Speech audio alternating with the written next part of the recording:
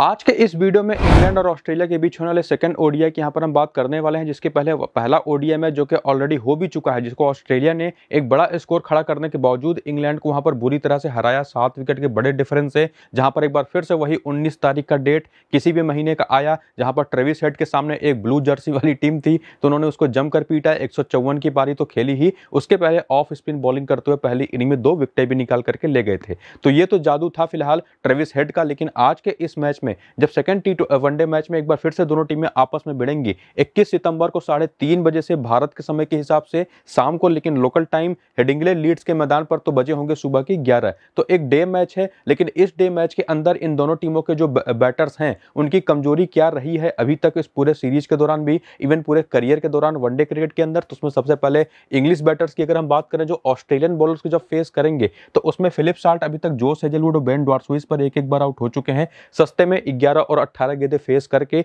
पिछले मैच में बेन डॉर्सविस ने इनको, इनको अपने करियर के पहले विकेट के रूप में आउट भी किया। इसके बाद वहाँ पर बात करें विल जैक्स की जिन्होंने पिछले वाले मैच में बेसिकली फॉर्म में वापसी की। हमारी टीम में भी थे। जंपा की नौ गेंद पर पंद्रह रन बना करके एक बार और ऑफ़ स्पिन पर चौदह गेंद पर पंद्रह रन बना करके एक बार आउट हुए हैं। तो ऑफ़ स्पिनिंग की कमज़ोरी और ओवरऑल स्पिन ही इनकी कमज़ोरी रहती है। ये चीज़ हमको देखने को मिलता है। सिमिलर आपको वही हैरी ब्रूक्स का भी देखने को मिलेगा। लेग स्पिन पर भी इनको दिक्कतें होती हैं। ऑफ़ स्पिन पर भी दिक्कत होती है। ऑफ़ स्पिन पर तो वनडे करियर में बत्तीस गेंद पर बत्तीस रन बना करके तीन बार आउट हो चुके हैं। मारनस लबुस्तेन ने भी पिछले वाले मैच में इनको, जब ये एकदम जम गए थे, उनतालीस रन बना चुके थे तो आते ही आउट कर दिया पाँच गेंद पर ग्यारह रन देकर के। बाकी बेन डकेट, जिन्होंने ऑलमोस्ट सेंचुरी लगा ही दी, नाइनटी प्लस की इनिंग खेली, ये भी मारनस लबुसेन पर ही आउट हुए लेग स्पिन पर, जो कि इनकी कमज़ोरी भी रही है। ओवरऑल सत्रह गेंद पर दो बार आउट हो चुके हैं वनडे करियर के अंदर। तो ये जो दिखाई पड़ते हैं टॉप ऑर्डर के फोर बैटर्स ये जो इंग्लैंड की तरफ़ से खेलते हैं, उसमें स्पेसिफिकली इन तीन बैटर्स को साफ़ पता चलता है कि एक तो लेग स्पिन और ऑफ़ स्पिन दोनों ही परेशान करती है, लेकिन वहीं पर आगे बढ़े और बाकी के बैटर्स की बात करें, जिसमें लियाम लिविंगस्टन है, जो कि जंपा के दूसरे गेंद पर आउट हुए पिछले वाले मैच में, एक रन बना करके लेफ़्ट आर्म मीडियम फास्ट जो बॉलिंग होती है वनडे करियर के अंदर वो इनको परेशान करती है। बाईस गेंद पर तेरह रन बना करके तीन बार आउट हो चुके हैं, बाकी जेकब बीथल जिन्होंने पहला डेब्यू किया पिछले वाले मैच में ट्रेविस हेट गेंद पर आउट हुए, बाएँ हाथ के बल्लेबाज है, ये ध्यान में रखिए, और लेफ़्ट हैंडर होने के नाते ऑफ़ स्पिन पर इनको दिक्कत हुई। ग्यारह गेंद पर इक्कीस रन बना करके एक बार आउट हुए ट्रेविस हेट की ऑफ़ स्पिन पर, बाकी जेमी स्मिथ, जो इनके विकेट कीपर बेहतर है, ये ऑफ़ स्पिन मैथ्यू शॉट की गेंद पर आउट हुए। तो पिछले मैच में जैसा कि आपने देखा, बेहतरीन पारियाँ खेली जा रही थी सभी इंग्लिश बैटर्स के द्वारा। वो स्पिन अटैक के आते ही धराशायी हो गए, हालाँकि फिर भी 300 प्लस की वहाँ पर उन्होंने स्कोर खड़ा किया। वहीं पर ऑस्ट्रेलियन बैटर्स की बात करें तो ट्रेविस हेड जो कि जाने जाते हैं लेग स्पिन के खिलाफ खराब खेलने में, हालाँकि अगर आप आदिल रशीद के खिलाफ इनका रिकॉर्ड देखें तो कमाल का है। ओली स्टोन के खिलाफ भी काफ़ी शानदार आंकड़े हैं। पिछले मैच में तो नॉट आउट रहे, कोई इनको आउट कर ही नहीं पाया, जैसा कि आपको मैंने बताया।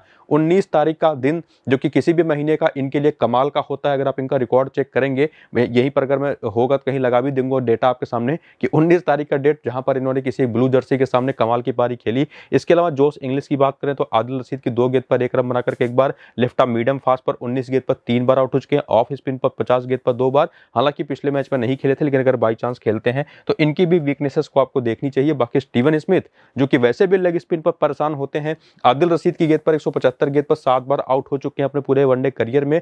लिविंगस्टन के आते ही पिछले वाले मैच में आउट हुए। लियम लिविंगस्टन इनको एक अच्छी पारी खेलते हुए जब दिखाई पड़ रहे थे, तब आउट किया। इसके बाद मिचल मार्स जो कि ओपन किया पिछले मैच में मैथ्यू पॉट्स गेंद पर आउट हो गए। रिसेंटली बहुत अच्छे फॉर्म में है नहीं। बाएँ हाथ की तेज गेंदबाजी भी इनको परेशान करती है वनडे करियर में।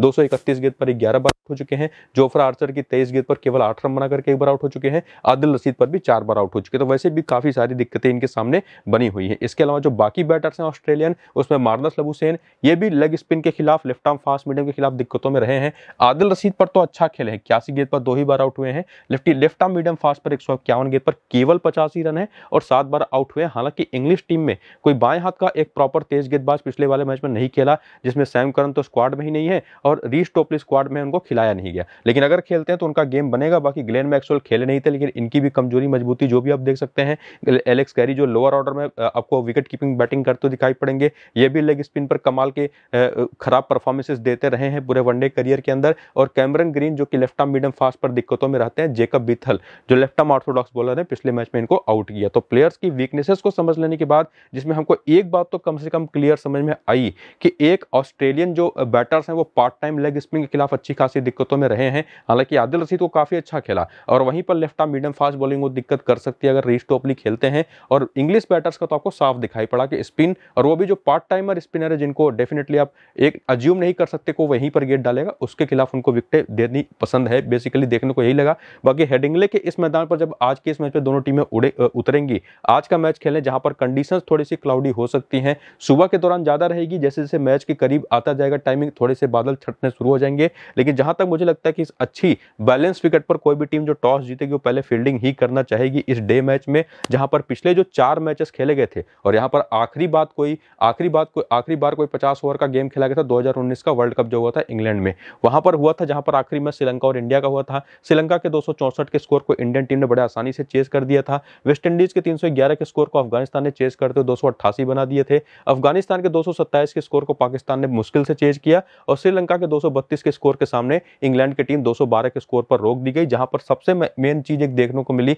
इन चारों मैचेस के अंदर कि यहाँ पर स्पिन को 18 तो पेस को उनतालीस विकटें मिली हैं। स्पिन को पहली इनिंग में नौ और सेकंड इनिंग में भी नौ, और पेस को पहली इनिंग में इक्कीस और सेकंड इनिंग में अठारह, यानी कि कोई ऐसा मामला बनता हुआ दिखाई नहीं पड़ता कि स्पिनर्स किसी पर्टिकुलर इनिंग में डोमिनेट कर रहे हैं या पेसर किसी पर्टिकुलर इनिंग में डोमिनेट कर रहे हैं। पूरी तरह से बैलेंस ट्रैक जहाँ पर आप 300 प्लस का स्कोर भी देखेंगे, जहाँ पर आप दो और 230 का स्कोर भी बनते हुए दिखाई पड़ेंगे, जहाँ पर आपको दिखाई पड़ेगा कि 232 का स्कोर भी श्रीलंका जैसी टीम ने डिफेंड कर दिया उस टीम के खिलाफ, जो कि वहाँ पर चैंपियन बनी थी उसी वर्ल्ड कप के अंदर। तो ये सारा मामला है कि एक बैलेंस विकेट को दिखाता है। पावर प्ले भी आप चाहे तो देख सकते हैं, जो शुरुआती दस ओवर का होता है, इन चारों ही मैचेस में कभी विकेटें गिरी भी हैं तो कभी अच्छे रन भी बने हैं। तो पूरी तरह से एक बैलेंस सरफेस है। डिपेंड करेगा कौन सा बैटर कितना बेहतर बैटिंग कर पाएगा या बॉलर कितनी अच्छी लाइन और पकड़ करके बॉलिंग करेगा। और उस समय जब ये मैच स्टार्ट होगा तो जो पिच की अपडेट आएगी कि कौन सी पिच प्रोवाइड करवाई गई है, वो देखना काफ़ी ज़रूरी होगा। बाकी पिछले दस मैचेस का आंकड़ा देखें तो छह बार पहले बैटिंग करने वाली टीम तीन बार बैटिंग सेकंड करने वाली टीम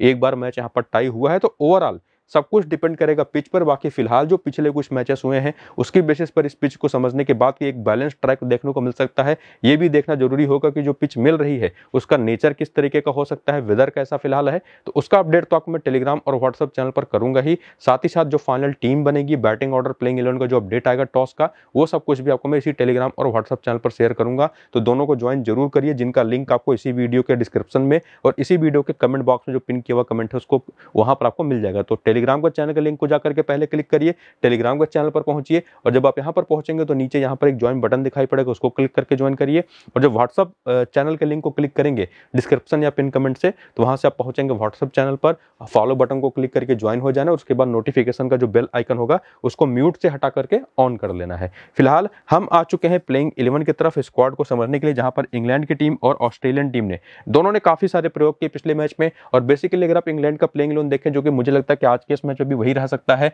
बेन डगेट जिन्होंने शानदार पारी के लिए Philip Short, Will Jacks, Harry Brook, Jamie Smith और लियम लिविंगस्टन आए। इसके बाद जेकब बीथल को भी डेब्यू करने का मौका मिला। ब्राइडन कार्स और जोफ्रा आर्चर, मैठी पॉट्स और साथ ही साथ आदिल रशीद भी खेले, जहाँ पर केवल दो ऐसे बॉलर दिखाई पड़े। लिविंगस्टन, जिन्होंने नौ ओवर किए, साथ ही साथ आदिल रशीद, जिन्होंने दस ओवर किए, बाकी सभी को तीन तीन चार चार पाँच पाँच ओवर की बॉलिंग कराई गई, जिसमें से अगर आप देखें तो जोफ्रा आर्चर भी थे, मैथ्यू पॉट्स भी थे, ब्राइडन कार्स भी थे, जेकब बीथल भी थे, और यहाँ पर विल जैक्स ने भी छह ओवर की बॉलिंग पिछले वाले मैच में की थी। तो जनरली अगर आप देखेंगे तो इन सभी के बीच में ओवर बढ़ते हुए दिखाई गए और पूरे सात बॉलरों का यहाँ पर प्रयोग किया गया, जिसमें लिविंगस्टन ने और आदिल रसीद ने मेजोरिटी ओवर्स किए। और इसमें भी पावर प्ले के पहले दस ओवर में जोफ्रा आर्चर ने पूरे चार ओवर किए थे मैथ्यू पॉट्स ने पूरे तीन ओवर किए थे ब्राइडन कार्स ने दो ओवर किए थे विल जैक्स ने एक ओवर डेथ ओवर के दौरान लिविंगस्टन आकर के पहले दो ओवर कर गए थे, जब 40 से 50 ओवर के बीच का मैच होता है। और आदिल रसीद से उम्मीद होगी कि ये भी बॉल करेंगे ब्राइडन कार्स जोफ्रा आर्चर और विल जैक्स तो करेंगे ही। बाकी इनका बेंच जहाँ पर रीच टोपली है ओली स्टोन है जॉन टर्नर और जॉर्डन कॉक्स, इनको लेकर के मैं काफ़ी हद तक वेट कर रहा हूँ कि इनको खिलाए टीम और मैं इनको अपनी टीम में लेकर के जाऊँ। बहुत ही कमाल के फास्ट बॉलर हैं, जिनके बारे में आगे हम डिस्कस अभी करेंगे भी। लेकिन आगे बढ़ते हुए पहले एक और प्लेइंग इलेवन देख लेते हैं, जो कि ऑस्ट्रेलिया का है और इस टीम ने तो आठ बॉलर्स का यूज़ किया, जिसमें वहाँ पर चार ओवर कर गए थे ट्रेविस हेड भी और इन्होंने भी दो विकेटें लेकर के चले गए, बाकी कैमरन ग्रीन ने भी ओवर्स किए। लेकिन वही है कि जो कोटे की ओवर पूरे करते हुए दिखाई पड़े, वो मैथ्यू शॉर्ट ने किए पूरे दस ओवर हालाँकि महँगे भी गए, उनसठ रन। लेकिन पूरे दस ओवर करा दिए, बाकी जंपा ने भी पूरे दस ओवर किए। उसके अलावा बाकी सभी के बीच में बराबर बराबर ओवर बटे, जिसमें पाँच ओवर तो सी नेबॉट ने किया, चार ओवर किया बेन डॉर्सविस ने। उसी तरीके से एरन हार्डी भी दिखाई पड़े, मार्नस लबुसेन ने भी अच्छे खासे ओवर कर दिए, तीन विकेट लेकर गए छह ओवर में। तो इस तरह से इस टीम ने आठ बॉलर पिछले मैच में यूज़ किए, जिसमें से एलेक्स कैरी, स्टीवन स्मिथ और मिचल मार्सी बचे थे, जिन्होंने बॉलिंग किया नहीं, वरना सभी ने बॉलिंग कर दी। बाकी इनका बेंच भी आप देख सकते हैं, लंबा चौड़ा है बड़े बड़े प्लेयर्स बेंच पर बैठे हुए दिखाई पड़ रहे हैं आपको। इसके अलावा अगर देखेंगे पावर प्ले और डेथ ओवर की बॉलिंग में, जहाँ पर एरन हार्डी, बेन डॉर्सविस सीने बॉट और मैथ्यू शॉर्ट ने पहले दस ओवर किए, जिसमें से चार ओवर तो बेन डॉर्सविस ने ही कर दिए थे, दो ओवर एरन हार्डी ने, तीन ओवर सीने बॉट ने, बाकी डेथ ओवर में मार्लस लबुसेन का दो ओवर आया था, जंपा के तीन ओवर आए थे, ट्रेविस हेड के चार ओवर आए थे और मैथ्यू शॉर्ट का एक ओवर। तो साफ़ दिखाई पड़ रहा है कि स्पिनर्स पर पूरी तरह से डिपेंड रही ऑस्ट्रेलियन टीम अपनी डेथ ओवर की बॉलिंग के लिए। और कमाल की बॉलिंग की उन लोगों ने विकटें भी निकाली, हालाँकि रन भी दिए, लेकिन ज़्यादातर विकटें ही निकाली। तो दोनों टीमों के स्क्वाड को समझ लेने के बाद, हर एक प्लेयर का रोल देख लेने के बाद, हम आ चुके हैं आंकड़ों की तरफ़, जहाँ से हम समझना शुरू करेंगे कि कौन से प्लेयर हमारी टीम में एक्चुअली आएँगे। जिसमें एक चीज़ तो यहाँ पर इंग्लैंड के प्लेयर्स हैं, इनका रिसेंट फॉर्म यहाँ पर है, जिसमें पिछले मैच की परफॉर्मेंस में आपने देखा है कि बेन डकेट ने पंचानवे बनाए सत्रह बनाए विल फिलिप साल्ट ने विल जैक्स ने बासठ रन बनाए, हालाँकि विकेट मिला नहीं। हैरी ब्रूक ने उनतालीस बनाए, तेईस बनाए, जेमी स्मिथ ने, लिविंगस्टन ने तेरह रन बनाए, एक विकेट भी लिया। जेमी यहाँ पर जो जैकब बीथल है, पैंतीस रन की पारी खेली और एक विकेट लिया। ब्राइडन कार्ड्स को विकेट नहीं मिला, विकेट वहाँ पर नहीं मिला। जोफ्रा आर्चर को, आदिल रशीद को भी विकेट नहीं मिला। मैथ्यू पॉट्स को एक विकेट मिला। तो सारा का सारा जो विकेट निकालने का काम देखा, पार्ट टाइमर्स ने ही ज़्यादातर देखा। बाकी ये जो चार बेंच के प्लेयर्स हैं, इनके भी रिसेंट के वो डी मैचेस या टी ट्वेंटी मैचेस का रिसेंट फॉर्म के आंकड़े आप देख ज़रूर सकते हैं, जिसमें से रीच टोपली टी ट्वेंटी सीरीज़ के दो मैच में जम के पिटाई हुई थी, इनकी चले नहीं। हालाँकि उसके पहले बड़े अच्छे फॉर्म में थे। बाकी ओली स्टोन और जॉन टर्नर ज़बरदस्त फॉर्म में है, ये तो दिखाई पड़ता ही है। जॉर्डन कॉक्स भी टी सीरीज़ में कुछ खास तो नहीं कर पाते हालाँकि उसके पहले ठीक ठाक बैटिंग फॉर्म में थे और उसी तरह से बाकी जो बैटर्स हैं, इनका भी पहले मैच के पहले किस तरीके का फॉर्म रहा था, वो सारा डेटा यहाँ पर आप देख सकते हैं, जिससे आपको समझने में मदद मिलेगी। और यहाँ पर आपको देखने को मिलेगा वनडे करियर हर एक इंग्लिश प्लेयर का कि ओडीआई क्रिकेट के अंदर ये पहली इनिंग में या सेकंड इनिंग में कहाँ पर बेहतर खेलते हैं। जैसे एग्जांपल के लिए अगर आपको मैं बेन डकेट का दूँ तो ये पहली इनिंग में जब बैटिंग करते हैं, ओडीआई करियर के अंदर अभी तक इन्होंने जितना भी क्रिकेट खेला है, चौवन के एवरेज से पहली इनिंग में रन बनाया है, सेकंड इनिंग में केवल सत्रह वहीं पर अगर आप बात करें फिलिप साल्ट का तो पहली इनिंग में उनतालीस और सेकंड इनिंग में बत्तीस। और वहीं पर बात करें अगर आप नंबर तीन के बैटर विल जैक्स का तो सेकंड इनिंग में ज़्यादा बेहतर कर पाए हैं, उनचास के एवरेज से। हालाँकि पहली इनिंग का बैटिंग एवरेज भी मोर देन इनफ है, जहाँ से आप इनको टीम में ले जा पाए। और उसमें भी विल जैक्स बॉलिंग भी करते हैं तो पहली इनिंग की बॉलिंग में चौवन गेंदे लगाते हैं एक विकेट निकालने में, सेकंड इनिंग की बॉलिंग में बत्तीस गेंदे तो ये चीज़ समझ में आती है कि कहाँ पर बैटर और बॉलर ग्रुप में भी यूजफुल हैं और उसी तरह से हैरी ब्रुक का देखें तो ये सेकंड इनिंग का बैटिंग एवरेज इनका ज़्यादा बेहतर है पहले इनिंग्स और बाकी जो बॉलर्स हैं, बाकी बैटर्स का तो बैटिंग एवरेज देखिएगा, जहाँ पर लिविंगस्टन के भी छत्तीस का एवरेज है पहले इनिंग का। सेकंड इनिंग से जस्ट डबल वही सेम चीज़ आपको जेकब बीथल का दिखाई पड़ेगा, लेकिन बॉलिंग के स्ट्राइक रेट की बात करें तो जोफ्रा आर्चर एक ऐसे बॉलर हैं, पहली इनिंग में तो बत्तीस गेंदे लगा रहे हैं, एक विकेट निकालने में वनडे करियर में, लेकिन जब बात आती है सेकंड इनिंग की तो वहाँ पर और बेहतर हो जाते हैं, इक्कीस गेंदे लेते हैं, एक विकेट लेने में। तो जोफ्रा आर्चर भले पिछले मैच में नहीं चले, लेकिन इसके पहले बड़े अच्छे फॉर्म में ये रहे भी थे और शानदार खिलाड़ी हैं वनडे क्रिकेट के। तो इनको आप वैसे भी मिस नहीं कर सकते। ठीक उसी तरह से बाकी बॉलर्स का भी स्ट्राइक रेट आप देख करके या बैटिंग बैटर्स का बैटिंग एवरेज देख करके समझ सकते हैं कि कौन किस इनिंग के लिए बेहतर ऑप्शन रहा है पूरे करियर के अंदर और उससे समझ पाएँगे कि किसको कैसे अपने टीमों में रोटेट करना है ग्रैंड लीग की टीम बनाते वक्त। लेकिन जब आप इस टीम के तरफ़ से प्लेयर सेलेक्ट करेंगे अपनी फैंटेसी एप्लीकेशन के लिए किसी भी तो Ben Duckett, Philip Salt, Will Jacks, Liam Livingstone, ये ऐसे चार ऑप्शन है जिनको आप मिस नहीं करना चाहेंगे, करना भी नहीं चाहिए, क्योंकि और फिलिप साल्ट का उसमें वो भी तब, क्योंकि बहुत अच्छे फॉर्म में तो नहीं है, लेकिन विकेट कीपिंग सेक्शन में देखेंगे तो इनके अलावा एलेक्स कैरी है, जेमी स्मिथ है जो पिछले मैच में खेले थे, उनका बैटिंग ऑर्डर बहुत नीचे होता है।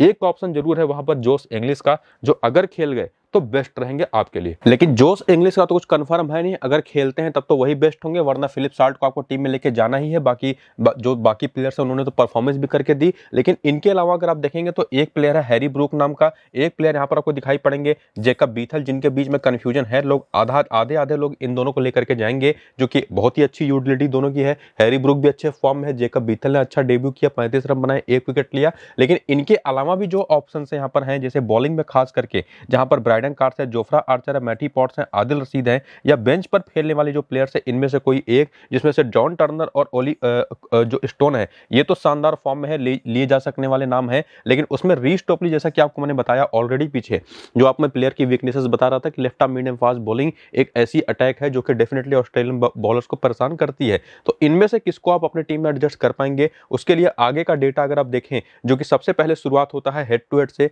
कि ऑस्ट्रेलिया के खिलाफ इन प्लेयर्स की क्या परफॉर्मेंस रहती दिक्कत थी इंग्लैंड की तरफ़ से खेलते वक्त। तो वहाँ पर फिलिप सार्ड तो तीन मैच में केवल चौवन रन है, लेकिन एक मैच में पंचानवे रन हो गए। बेन डगट के पिछले ही मैच में उसी मैच का स्कोर आपको विल जैक्स, हैरी ब्रोक और जेमी स्मिथ और साथ ही साथ यहाँ पर जेकब बीथल का भी दिखाई पड़ेगा। लिविंगस्टन ने दो मैच में पंद्रह रन बनाए हैं, दो विकेटें ली हैं और उसके अलावा आप देख सकते हैं फिलिप साल्ट भी एक ऐसे प्लेयर है जो कि ज़्यादा मैचेस खेल चुके हैं। बाकी इन सभी की अगर आप देखेंगे तो पहला ही मैच था, जो पिछला हुआ है, इवन ब्राइडन कार्स का भी। लेकिन जोफ्रा आर्चर ये मैच में दस विकेट ऑलरेडी ले चुके हैं। पहले मैच में पहला विकेट लिया, पिछले वाले मैच में मैथ्यू पॉट्स ने सत्ताईस मैचेस में सैंतालीस विकेट ले चुके हैं आदिल रशीद, जो कि पिछले मैच में नहीं चले, लेकिन बेहतरीन आंकड़े हैं तो डेफिनेटली इनके ऊपर आप बिल्कुल भरोसा कर सकते हैं, चाहे किसी भी इनिंग की बॉलिंग हो, पहली इनिंग या सेकेंड इनिंग दोनों जगहों पर शानदार परफॉर्मेंसेज इन्होंने दी हैं। इवन जोफ्रा आर्चर ने भी, और बाकी खिलाड़ियों के तो एक एक मैच का नंबर देखा। ओली स्टोन के दो मैच में चार विकेट हैं रीच टोपली के एक मैच में कोई विकेट नहीं है। तो यहाँ से कम से कम समझ में आता है कि ओली स्टोन एक अच्छे ऑप्शन होंगे, जो दो मैचेस इन्होंने खेले हैं।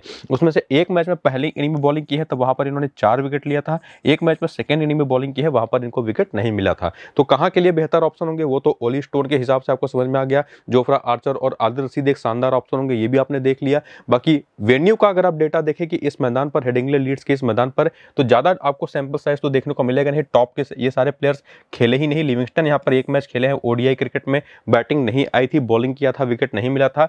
इसके अलावा जोफ्रा आर्चर के यहाँ पर एक मैच में तीन विकेट हैं आदिल रसीद के सात मैच में तेरह विकेट हैं। रीस टोपली यहाँ पर भी एक मैच में विकेट लेस हैं। तो आंकड़ों पर जाए तो रीस टोपली कुछ खास ऑप्शन बनते नहीं, लेकिन जैसा कि आपको मैंने पीछे वीकनेसेस में समझाया था कि ये एक अच्छे ऑप्शन रहेंगे एक left arm medium fast bowler के रूप में चूँकि वो एक कमज़ोरी रही है ऑस्ट्रेलियन बैटर्स की काफ़ी हद तक। तो ये सारे आंकड़े देख लेने के बाद यहाँ पर ये भी हमको समझ में आ गया कि आदिल रसीद और जोफ्रा आर्चर इंपॉर्टेंट रहेंगे और इसके अलावा अगर ओली स्टोन खेलते हैं तो वो और रीच टोपली भी एक रिस्की ऑप्शन रहेंगे, बाकी बैटर्स का तो और ऑलराउंडर्स का तो आपने देख लिया। इंग्लैंड की तरफ़ से ठीक उसी तरह से ऑस्ट्रेलिया की तरफ़ से भी सभी खिलाड़ियों के बारे में देखें तो यहाँ तो आपके सामने करियर का पूरा डेटा है इनिंग के बेसिस पर, जिसमें ऑस्ट्रेलियन प्लेयर्स जनरली दोनों ही इनिंग्स में शानदार रहते हैं। इसमें एक दो प्लेयरों को अगर आप छोड़ दें, जिसमें से जोश वजलवुड एक ऐसे प्लेयर हैं, जो कि काफ़ी अच्छे फॉर्म में हैं। पिछले पाँच में जब पाँच विकेटें हैं, वनडे करियर में पहली इनिंग की बॉलिंग में हर चालीसवीं गेंद पर एक विकेट लेते हैं जब बात आती है सेकेंड इनिंग की तो वहाँ पर और खतरनाक हो जाते हैं। अट्ठाईस गेंदें लगाते हैं, एक विकेट निकालने में। ठीक उसी तरह से बाकी बैटर्स और बॉलर्स के सारे डेटा तो आप देख लीजिएगा। परफॉर्मेंस आपको पता ही है ट्रेविस हेड ने शानदार एक सौ नबाद की पारी खेली, दो विकेटें भी ली। बाकी दस रन की पारी खेली मिचेल मार्स ने पिछले मैच में स्टीवन स्मिथ ने बत्तीस रन बनाए, कैमरन ग्रीन ने बत्तीस रन बनाए, विकेट लिया नहीं। मारदस लबुसैन ने सतहत्तर नबाद की पारी और तीन विकटें भी ली। और अगर आपको मेरा पिछला वीडियो याद हो तो मैंने इनको कैप्टन भी सजेस्ट किया था आपको। इसके बाद यहाँ पर आते हैं एलेक्स कैरी, दस रन बनाए, एक विकेट लिया मैथ्यू शॉट ने, बाकी मेन बॉलर्स को उतनी विकेटें मिली नहीं। बेन डुआर स्विच ने एक विकेट लिया जम्पान ने तीन विकेट लिया, बाकी ये प्लेयर तो बेंच पर ही बैठे रहे। लेकिन इनका भी अगर आप रिसेंट फॉर्म देखना चाहें तो आपके सामने है, जो कि काफ़ी शानदार है। और बाकी ये जो सारे प्लेयर्स जो खेले या नहीं खेले, उसमें से देखेंगे तो फैंटसी में आज के इस मैच में Travis Head Steven Smith Cameron Green Marnus Hussain और साथ ही साथ एडम जंपा ये पाँच प्लेयर तो पक्के हैं सभी के टीम में, जो आपके अपोनेंट्स लेकर के आएँगे। लेकिन इसके साथ साथ एक और जो चीज़ देखनी है, जो बाकी नाम है, जैसे सीन एबॉट जो कि डेफिनेटली पहली इनिंग की बॉलिंग में डेथ ओवर के बड़े कमाल के बॉलर हैं और इसके अलावा बेन स्विच जिन्होंने पिछले मैच पर डेब्यू किया, या जो ये बेंच के प्लेयर्स हैं, इसमें से अगर कोई खेल गया तो ये चारों ही शानदार ऑप्शन है। इसके अलावा यहाँ पर अगर आप टॉप ऑर्डर से देखो तो मिचल मार्स जो कि बहुत अच्छे फॉर्म में तो नहीं है, वही एक रीजन है कि लोग इनको इग्नोर कर रहे हैं, लेकिन वो कैसे ऑप्शन बन सकते हैं या नहीं, कुछ ग्रैंड लीग में आपकी टीम में आ सकते हैं या नहीं, या स्मॉल लीग में भी उनके ऊपर आप रिस्क ले सकते हैं यानी उसको देखने के लिए अगर आप हेड टू हेड का डेटा देखेंगे तो मिचल मार्स शानदार है। उन्नीस में जब पाँच रन, पैंतीस का एवरेज और उन्नीस विकटें, लेकिन फ़िलहाल जैसा कि आपने देखा कि इस सीरीज़ में नहीं चल रहे, लेकिन यहीं पर एक कैच आता है। क्या कि इनके 35 के जो एवरेजेस हैं, इंग्लैंड के खिलाफ वनडे क्रिकेट में खेलते हुए, उसमें पहली इनिंग में उनचास का एवरेज है सेकेंड इनिंग में 17 जो कि पिछले मैच में एक तरह से आप देखें तो वही सही साबित हुआ कि सेकेंड इनिंग की बैटिंग रही, वहाँ पर नहीं चले। हो सकता है पहली इनिंग की बैटिंग आ जाए तो कमाल के ऑप्शन हो। तो मेरा भी प्रोडिक्शन वही रहेगा कि पहली इनिंग की अगर बैटिंग रहेगी तो ये मेरी टीम में पक्का रहेंगे, बाकी ट्रेविस हेड जो होंगे, वो सेकंड इनिंग की बैटिंग में पक्का रहेंगे, हालाँकि जैसी उनकी परफॉर्मेंस है, चूँकि वो बॉलिंग भी कर रहे हैं तो दोनों ही इनिंग्स की बॉलिंग में हमारी टीम में बनेंगे स्टीवन स्मिथ को लेकर के भी कोई कंफ्यूजन है नहीं। तो ये भी हमारी टीम में बने रहेंगे। हालाँकि मिचल मार्क्स को मैं पहली इनिंग की बैटिंग में लूँगा। कैमरन ग्रीन हालाँकि इस टीम के खिलाफ बहुत बेहतर बॉलिंग कभी करते रहे नहीं है। एक भी विकेट नहीं है, तीन मैच में बल्ले से निन्यानवे रन है। स्टिल एक प्लेयर के रूप में बेहतर ऑप्शन है। और सिमिलरली यहाँ पर मारनस लबुसैन जिन्होंने तीन विकेट पिछले ही मैच में लिया। इसके पहले आठ मैच इक्यावन का एवरेज है, तीन सौ सात रन है। तो शानदार परफॉर्मेंसेज इन सभी की रही है। एलेक्स कैरी के नंबर्स भी काफ़ी अच्छे हैं मैथ्यू शॉर्ट और साथ ही साथ एरन हार्डी का तो पहला ही मैच था जो पिछला वाला हुआ, जिसमें सीन बॉट के दो मैच पर दो विकटें हैं। पेन डॉटसविच ने भी पिछला वाला मैच पहली बार खेला। तेरह मैच में उनतीस विकेट हैं एडम जंपा की, जिसमें स्ट्राइक रेट दोनों ही इनिंग का काफ़ी हद तक सिमिलर है और नंबर ऑफ़ विकेट्स भी लगभग उसी तरीके से बाकी। जो सेजलवुड हो गए, मिचल मार्स स्टार्क हो गए, शानदार खिलाड़ी रहे हैं इस टीम के खिलाफ, जिसमें एक चीज़ और निकल करके आती है जो सेजलवुड के बारे में, जिनका करियर आपने देखा वनडे में कि सेकंड इनिंग में ज़्यादा कामयाब होते हैं। सिमिलरली आप इंग्लैंड के खिलाफ भी देखेंगे तो इकतीस का स्ट्राइक रेट है केवल सेकेंड इनिंग में, लेकिन पहली इनिंग में इक्यावन का है। तो वहाँ पर एक काफ़ी शानदार ऑप्शन है, बाकी जो बेंच के प्लेयर्स हैं, इनके भी डेटा को आप यहाँ पर देख सकते हैं। तो मिचल मार्स, जो सेजलवुड को लेकर के हमको एक इंसाइट तो यहाँ पर मिला कि वो कब हमारे टीम में रह सकते हैं। बाकी वेन्यू का डेटा देखने आए तो यहाँ पर आपको ज़्यादा कुछ मिलेगा ही नहीं। केवल मिचल मार्स यहाँ पर खेले हैं, एक मैच सत्रह रन, दो विकेटें। यहाँ पर खेले हैं ग्लेन मैक्सवेल, पचासी रन और एक विकेट एक एक मैच दोनों के, जो कि शानदार रहे हैं। बाकी प्लेयर यहाँ पर खेले नहीं, लेकिन जो भी पीछे का डेटा आपको दोनों ही टीमों की तरफ़ से हर एक प्लेयर का मिला। पिच का जो सारा एनालिसिस हमने किया और इंटरप्रिटेशन प्लेयर सिलेक्शन ग्रुप में उन सभी चीज़ों को यूज़ करके हमने जो किया, उससे ये बात तो तय है, जो प्लेयर की वीकनेसेस भी हमने देखी कि फाइनल टीम जो बनेगी वो टॉस के ही बाद बन पाएगी, जो कि आपको मैं टेलीग्राम और व्हाट्सअप चैनल पर दूँगा तो उनको आपको जाकर के ज्वाइन करना है और उनका लिंक आपको इसी वीडियो के डिस्क्रिप्शन में और पिन कमेंट में मिल जाएगा। तो पूरा वीडियो देखिए, दोनों ही चैनल्स को जाकर के ज्वाइन कर लीजिए, काफ़ी ज़रूरी है। ये टीम बना करके सेव कर लीजिए, बाकी वीडियो शुरू से अंत पूरा ज़रूर देखिएगा। यही एक आपके लिए ज़रूरी चीज़ है। फ़िलहाल इसको यहाँ पर करेंगे खत्म, चलते हैं, नमस्कार।